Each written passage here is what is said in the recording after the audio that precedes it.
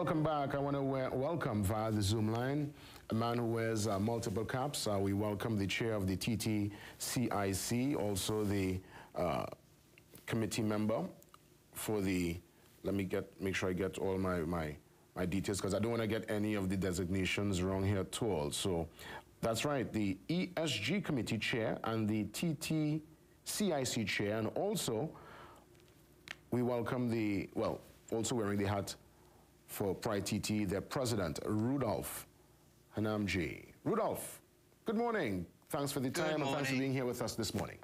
My pleasure. Thank you for having me. I hope I got all the designations correct. I know it's lots, lots, lots, lots to deal with here. A couple hats. It's yes. fine. I'm happy to be here just to represent. That's right. Listen, it's a very important discussion because I know that, um, you know, it's the International Day Against Homophobia, Transphobia, and Biphobia. Yes. Also, you know, many challenges within uh, your community. And the reality is there are those looking on this morning who might suggest, you know what, why are we even going to dive into this, this discussion? You know, what's the, uh, why this international or, or, this global agenda is coming to Trinidad? But the reality is folks from your community were part and still remain part of our fabric. Uh, that's been the way it is for many, many, many years since Certainly. we have known ourselves as a republic and as an independent state.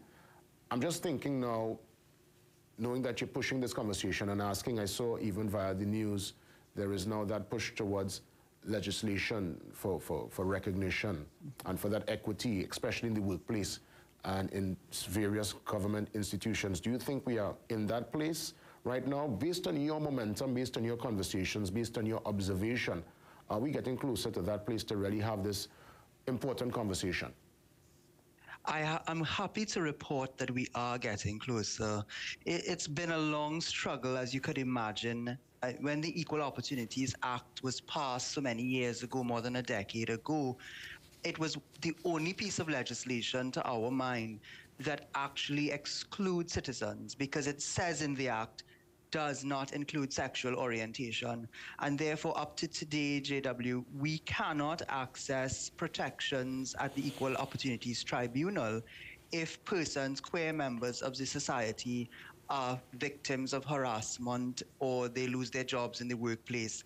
But why I say we're getting closer is because the private sector has actually taken the reins up where the government has not and has started passing their own policies within the workplace that protect not just their queer citizens and employees and customers, but all marginalized and vulnerable groups. And mm. that's why ESG, environmental, social, and governance frameworks are so important because those frameworks will now encompass what is called diversity, equity, and inclusion policies.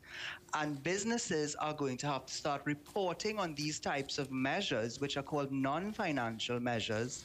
And if they don't report on them and can show objectively that they're meeting certain criteria in these areas, they can actually be impacted in terms of investment, customer demand, and their supply chains. So businesses are getting serious about this.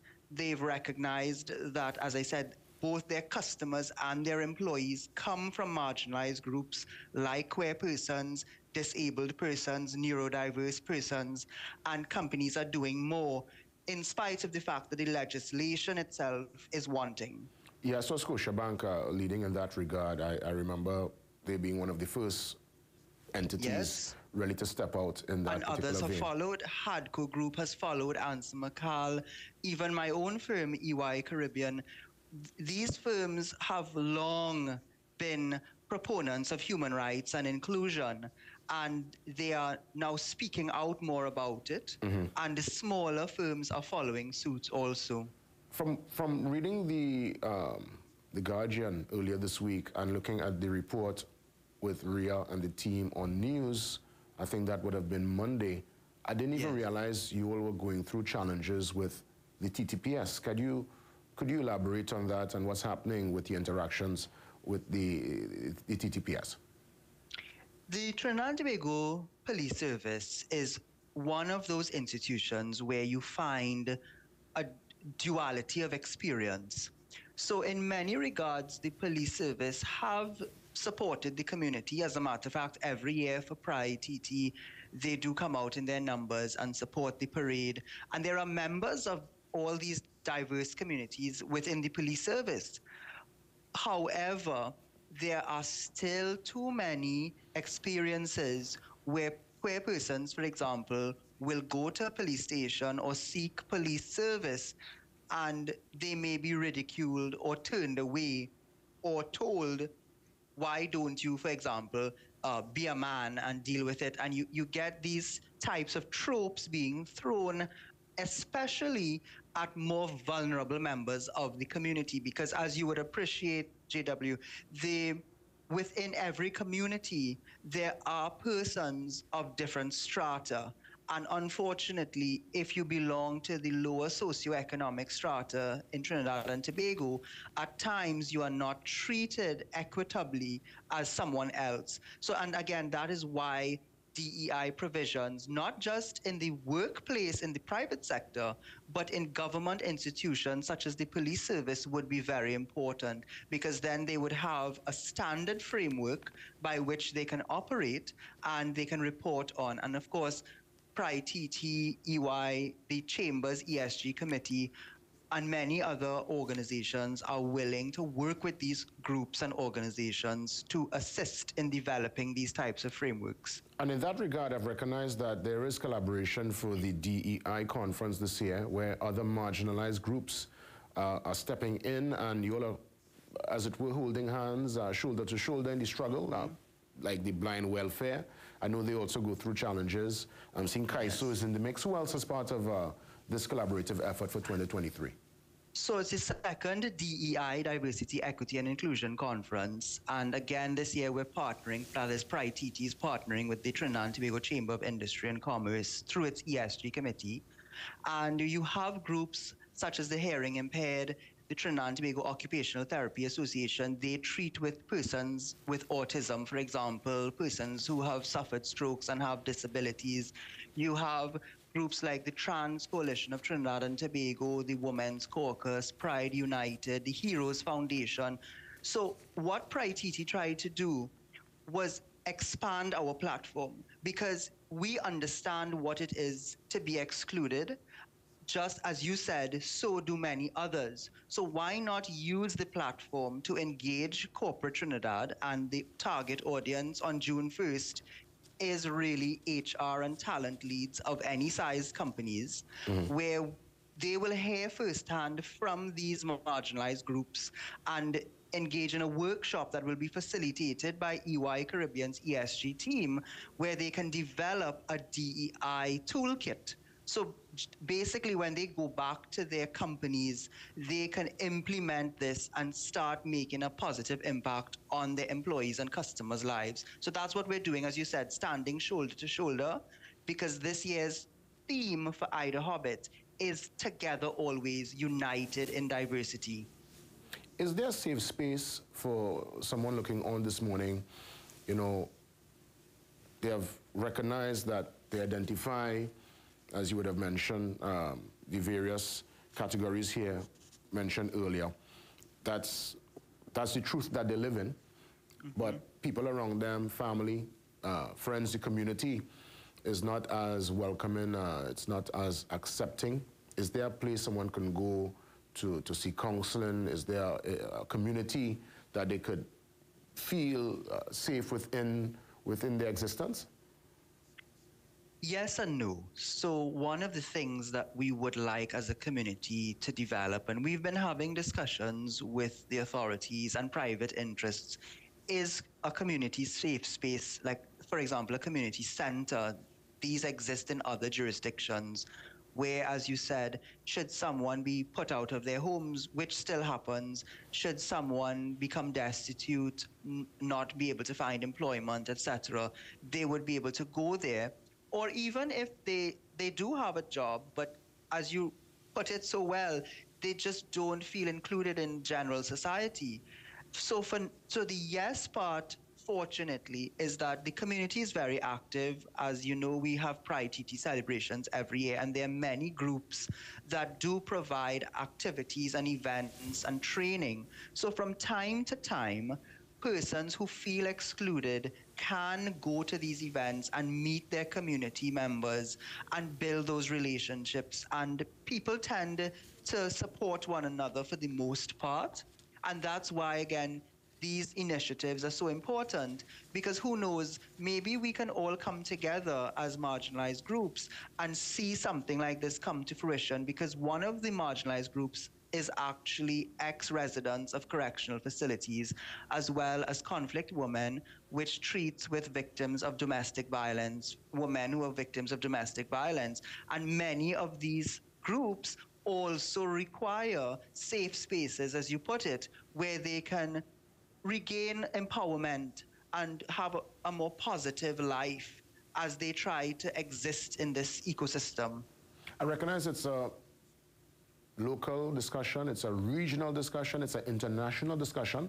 And we here in the media, the Fourth Estate, obviously being a mirror, being a reflection of the society, that's why we engage in this kind of discussion so that we could now share with the greater public uh, some of the developments. And as we look towards what's happening, I'm sure, Rudolph, you keep your eyes and ears on the ground with developments within the region. Are we leading in this regard, or are we way behind what other countries within the Caribbean space? Uh, is there anywhere we could take an example from, or, or, are we more or less taking charge and taking the lead at this point in time? I would, I would like to claim that Trinidad and Tobago is taking a lead. And again, it's being driven by the private sector mainly and also the way our society functions. I mean, a lot of bad is sometimes said about TNT, but uh, if you recall that famous Calypso portrait of Trinidad, there's so much good that happens here. And yes, we can always pull from more progressive jurisdictions, but I hasten to add that even in places such as the, the European states and in the United States of America, for example, there are still challenges being faced, especially in the legislative world. So nowhere is perfect yet, but we can create a space, JW, where every creed and race truly finds an equal place, including identities, different persons of, of experiences and lived identities because we all have to build and we are all building together. So even having this opportunity to speak on the media and, and being able to partner with the chamber and, and host the DEI conference is in itself leading in many regards because there are places in the world where this conversation would not be happening. And in like Uganda, for example, or Russia, I might actually be arrested for having this conversation. So we must always place Trinidad and Tobago in its rightful context and continue to have the conversation. As we look to wrap things up, when is the DEI conference taking place and how can those looking on who are eager to attend uh, take part and be in the presence? Certainly. Today we're having a focus group session facilitated by EY at the Chamber's headquarters with all of the marginalized groups and that will allow us to develop a white paper which will be shared with the government and it will also be released on June 1st, that is when the actual conference is being held at the chamber headquarters from 9 to 3 p.m.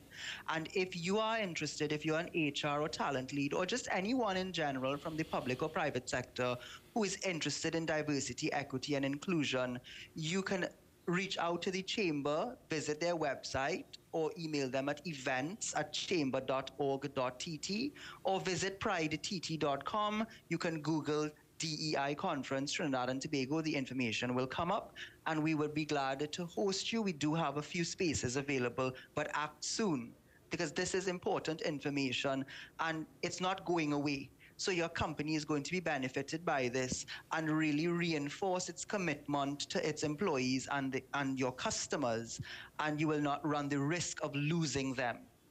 President Hanamji, any closing remarks as we look to wrap things up this morning? DEI 2023, remember today's theme is Together, Always United in Diversity, and that does not apply to only marginalized groups. Let us all, Trinidad and Tobago, unite in our diversity and chart our, our way forward. So thank you very much for having us, and we wish everyone a safe and reflective IDAHOBIT. President of Pride TT Rudolph touching base with us on this Wednesday. Keep us posted. All the best. Thank you, you too. With that, we get ready to take the pause. We come back and get the segments going. Uh, obviously, all the email information, the online information. We'll try to put the something to think about in the mix, and if time permits, we might even pitch the birthday brew in before 7 a.m. Because remember, after 7, it's Tobago Talks. I want Tobago Talk we listen, and this morning, Watson Duke is stepping in via the Zoom line. Very interesting conversations ahead. See you soon.